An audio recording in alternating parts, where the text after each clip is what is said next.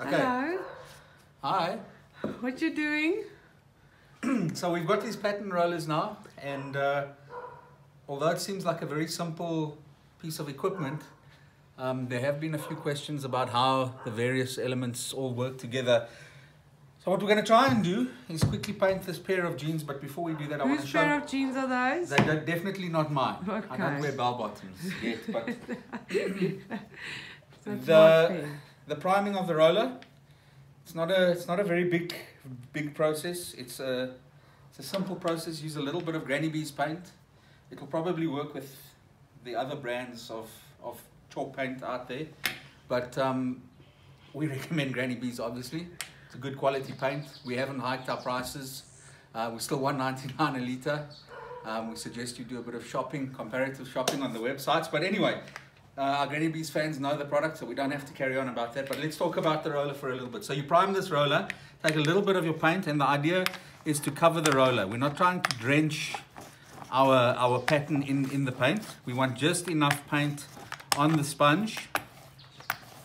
So I'm going to work the little bit of paint that we've got, and if I need to add more, just want to make sure that I'm getting enough paint onto the sponge. If you really want to make sure that you, you're getting it right. Just carefully dribble a little bit of the paint over the sponge as long as it gets there in the end.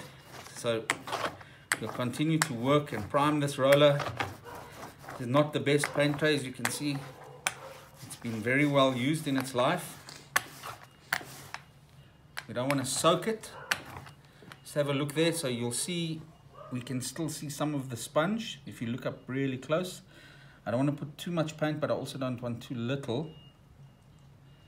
So let's just get some of this paint onto that roller. Okay, continue to work it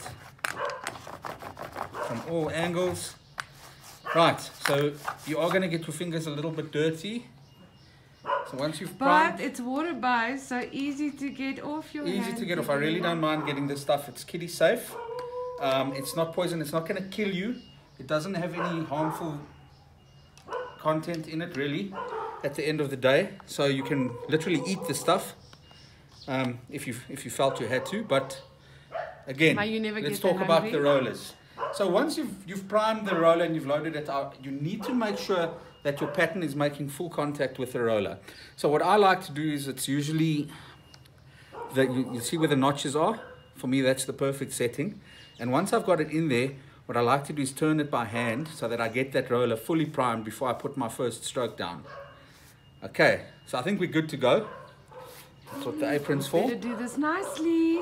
Okay, let's give it a bash.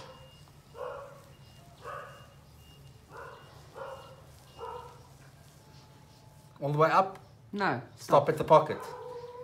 Oh, I'm not really happy with that. No, it looks nice. Wait, wait, wait. No, no, I love it.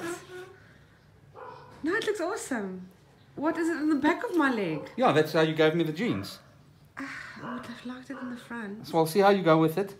So maybe we should do one leg in the front, the opposite leg. Okay, well, I'm happy with that. So, Okay, but I'm gonna over and out here now. okay.